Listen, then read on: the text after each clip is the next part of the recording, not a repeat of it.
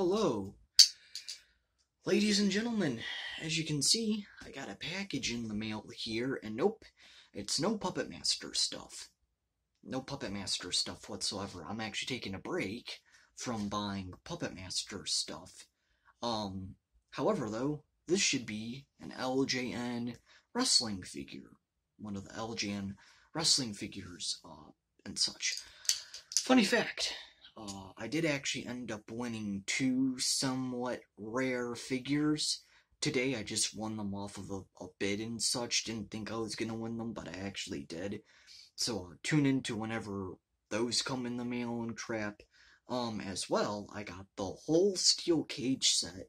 Um, I'll be doing a video on that shortly here, and I don't know, or whatever. But yeah, I got the whole steel cage set for the Sling'em Fling'em ring, you know, and everything, which is cool. So, but, uh, anyways, we're gonna do an unboxing first. Then maybe here in a bit, or whenever I want to, I'll show you the Sling'em Fling'em ring. So, actually, this is just gonna be easier if I just do it on the bottom here. There we go. So instead of trying to take 55 minutes opening a fucking box. There's that. Now this one's not really one of the rare ones. I paid like $18 for this figure, but it's one I actually did not have in my collection, surprisingly.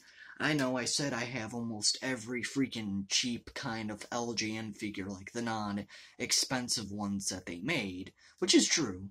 I, I got like almost every non-cheap one they made, you know, like the, the easier ones to find, I guess you could say. The easier ones to find. But shockingly, this one I did not have. Now, there is variants of this figure. Yep, this is the normal version. But, uh, there is actually variants of this particular figure. This is the normal version, the most easiest one to find. And again, I did not have this version. Um, again, I'm not really big into variants and such. I'm just not. I'm not really big into variants.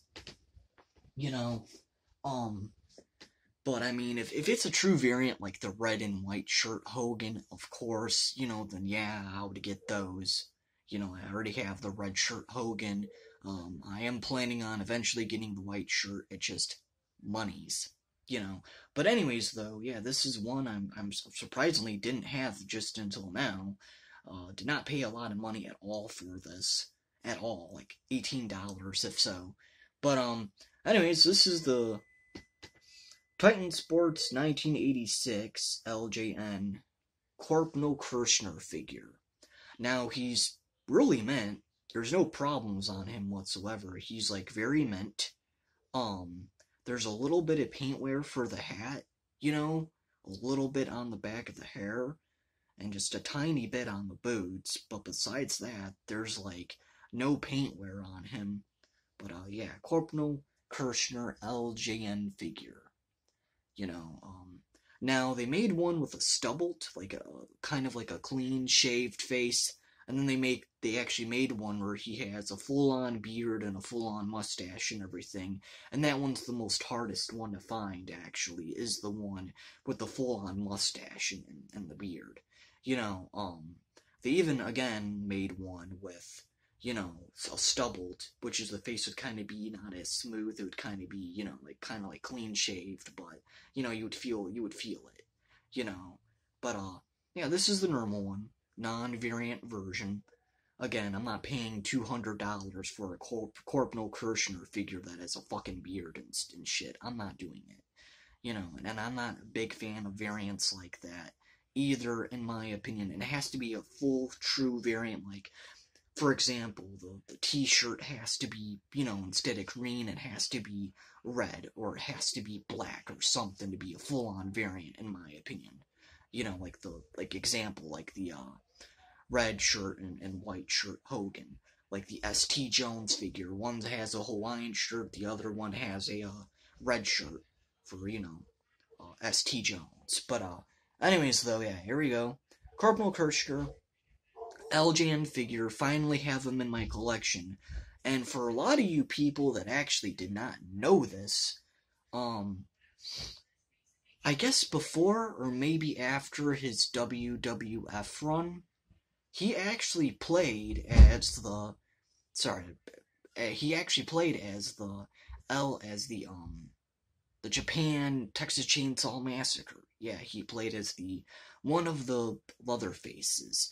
If you didn't know that, yeah, he played as one of the Texas Chainsaw Massacre Leatherfaces in um in Japan, known as I think Super Leather or something like that too. Um, if you didn't know that. So, but yeah, besides that though, that's, that's really it. There's nothing much to him.